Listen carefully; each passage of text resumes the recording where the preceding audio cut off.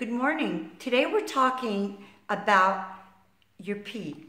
So a lot of people are writing me uh, emails and they're asking, I have red pee. What does that mean? I have yellow pee. What does that mean? Well, seven things that your pee can mean about you. Okay, so what does it mean when your pee is red? When your pee is red, it could be as simple as if you have just eaten some beets or rhubarb, anything that might tinge your uh, pee red. But remember, that should be within 24 hours, it should be gone. If it's not gone, you might want to consider and see if maybe you need to go see the doctor to see if possibly you might have some kidney stones. Okay, kind of important. Okay, the second color that you might look at is orange. So orange pee could signify something like you ate a lot of carrots. Vegetarians, usually their skin turns kind of yellow or red, uh, orangish. So it could be that that is being excreted in your urine.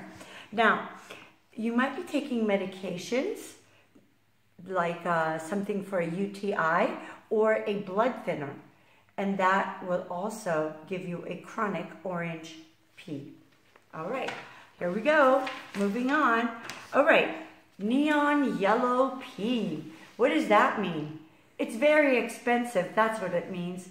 B vitamins, the B complex vitamins, if you're overdosing, even though that they're water soluble, you're going to see them in your urine. So that's very expensive urine.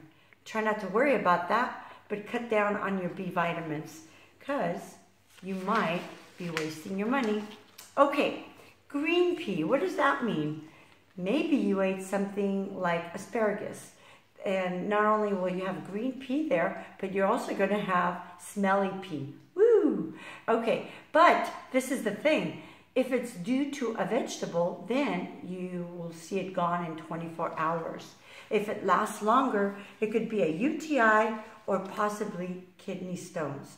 So if you're also um, having uh, accompanied by some pain in your lower back, that could be a problem.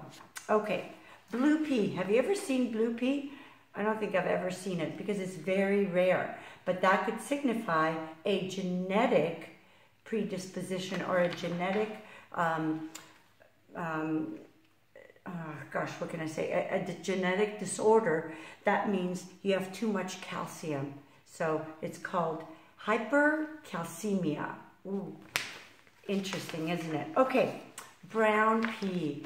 Brown pee could be caused due to the food you're eating. Possible, again, we said rhubarb, which is like a red brownish color vegetable, or fava beans. I had no idea until I started doing research on fava beans. Now, something more serious could be that maybe you have breaking down of red blood cells. So some active bleeding, like a tumor. If that's if it continues to go on, then you better go check with your doctor to see what the deal is, okay? But it's very rare. All right. And what about if your pee is not clear and it's white? Ooh, this is disgusting. You might be peeing out pus. Yikes because of an infection. So you got to take care of that right away or else it will affect your kidneys.